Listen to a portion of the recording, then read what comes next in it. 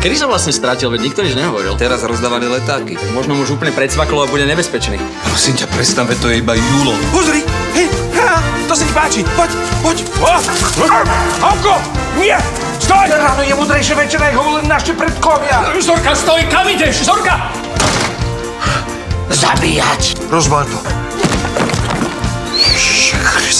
Hranica. V piatok o 20.35 na Jojke.